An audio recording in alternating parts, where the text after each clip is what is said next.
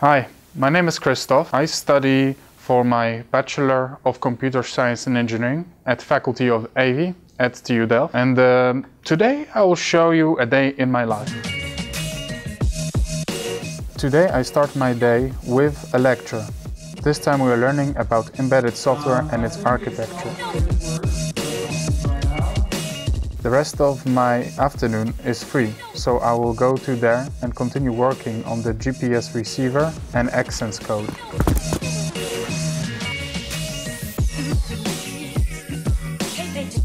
This is a test stand for the flight computer. I'll try to get this Xsens working on our custom-built hardware. Programming this is very different from what you learned during your bachelor.